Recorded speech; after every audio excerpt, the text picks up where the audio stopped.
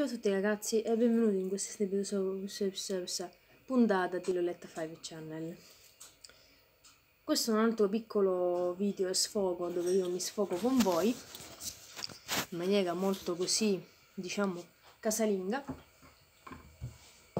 per quello che è successo. Allora, partiamo dal presupposto che dopo la morte di mia mamma qua a casa mia non è venuto più nessuno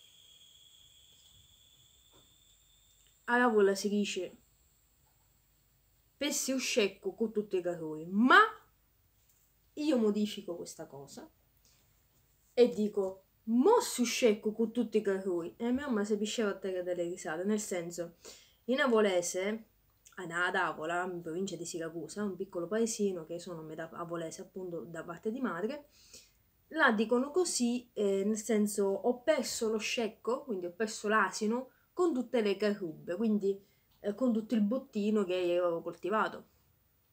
Ma io rinforzando questa, questa cosa, affermo invece che mi è morto direttamente, mi è morto non solo il bottino, ma anche colui che caricava il bottino.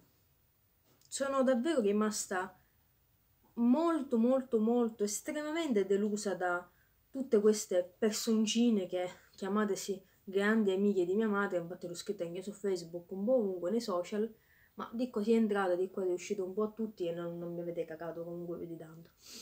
E, ehm, ultimamente sto ricevendo tipo una chiamata, un messaggio da qualche sua tipo pseudo-amica, eh, le figlie delle sue grandi amiche invece niente, cioè come se mi è morto veramente il gatto. Io non auguro niente a nessuno, però quando poi capita lo capiscono. Non per buttargliela, ragazzi, ma è così.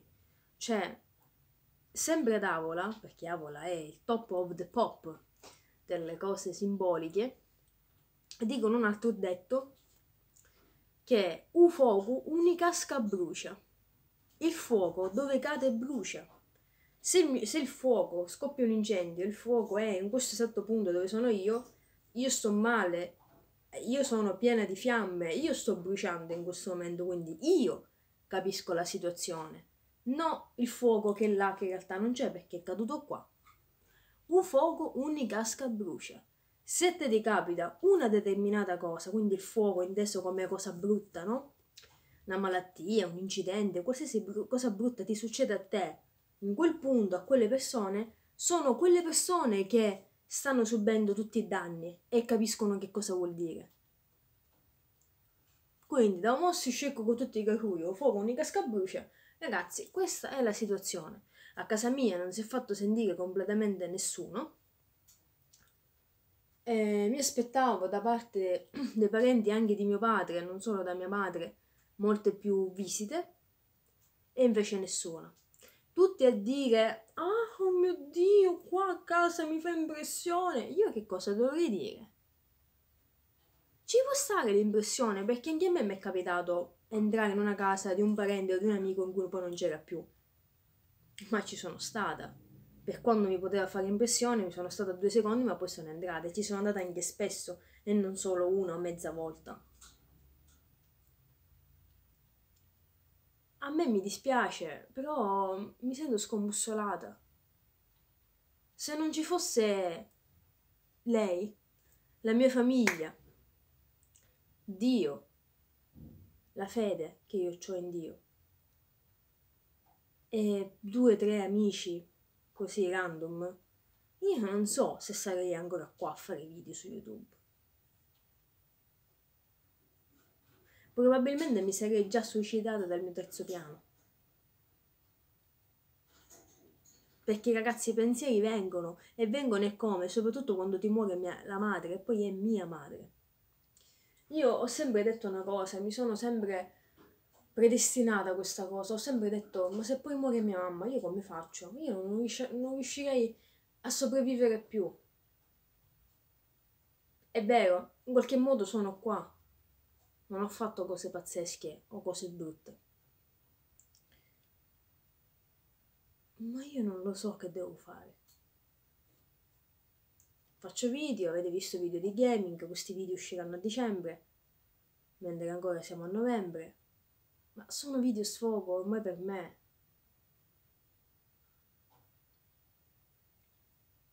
Io non so se voi avete ancora voglia di sentire me. Una povera orfana di madre disperata che accende il cellulare e fa un video random con la sua maglietta in casa? Non lo so.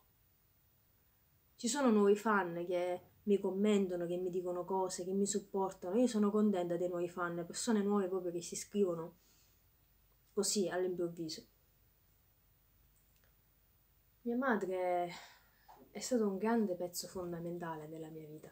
28 anni di vita. Ho vissuto quasi 30 anni, mia madre, da quando sono nata.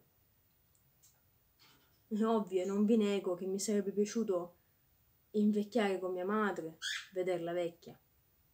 Ma come lei non si vedeva vecchia, non mi ci vedo nemmeno io. Quindi sono convinta che anche io morirò sui 60 anni. Quindi Iole del futuro, se continuerai a fare video su YouTube e avrai 59 anni, toccati perché probabilmente tra poco sarà la tua fine. Mia madre ha vissuto la bellezza di 52 anni, giovanissima. Ho fatto dei tumori in famiglia, il diabete, non è che io ho grande, lunga di, grande vita lunga, diciamo. Aug. Però, come diceva l'ultimo pezzo del film Il Corvo, dice e io non vi racconterò di come lei è morta, in questo caso, ma vi racconterò come ha vissuto. Secondo me l'importante non è arrivare alla fine della vita, ma, ma il viaggio che ci sta nel mezzo, I, i valori che mi ha trasmesso, le idee, le sue idee che poi combaciavano anche un po' con le mie, a volte sì, a volte no, i dibattiti, il bene che ha fatto alle persone, il suo essere sprint. Mia madre mi sollevava da ogni cosa aveva un modo di scherzare, ragazzi. E la battuta sempre pronta, che io in confronto faccio schifo e non sono niente. Sono un po' simile a lei, ma non sarò mai come lei. Lei proprio era molto più attiva di me, molto più pimpante, lei era il sole. Quando entrava lei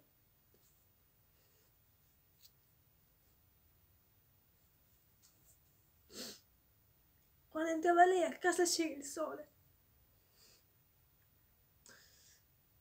Mi sfotteva, mi insultava, mi diceva che fai, babazza?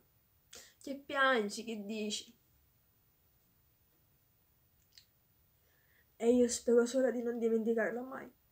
Perché ancora sono passati solo tre fottuti e lunghissimi mesi, che mi sembrano tre anni ma i giorni sono diventati settimane, le settimane sono diventate mesi e i mesi prima o poi adesso diventeranno anni.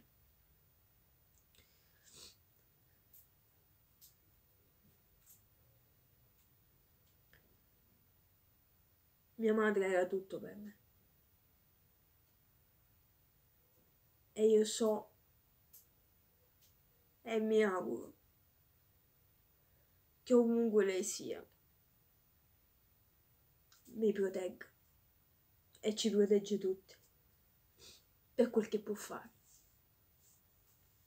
Sicuramente ho sbagliato tante cose in questi mesi, sto continuando a sbagliare, a volte mi lamento, non dovrei farlo, ma è dura senza di lei.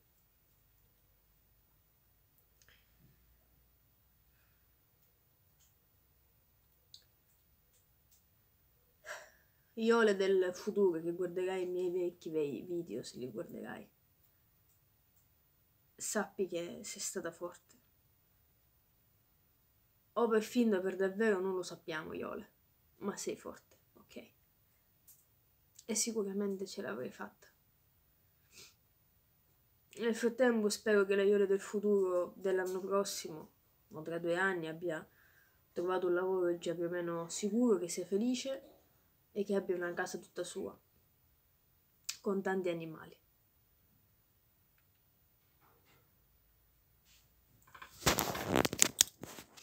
E niente ragazzi, Adesso vi mando un bacione e, e ci aggiorniamo.